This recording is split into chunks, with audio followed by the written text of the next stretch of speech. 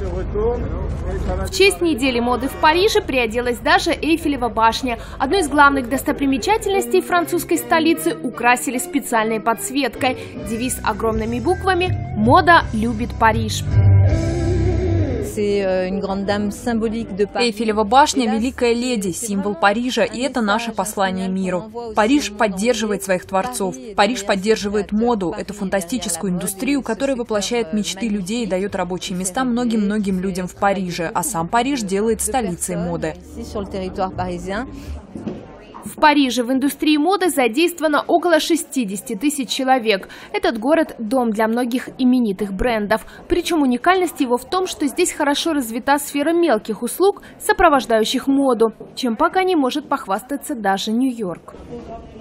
Euh, в наши дни все пути по-прежнему сходятся в Париже. Именно в Париже завершаются циклы недели моды, и мы не знаем почему. Думаю, потому что здесь сходятся все влияния – с севера, юга, запада и востока.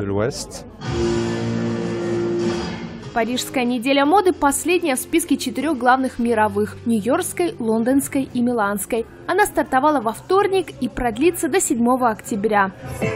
Все это время блистать стильными убранствами будет и Эйфелева башня.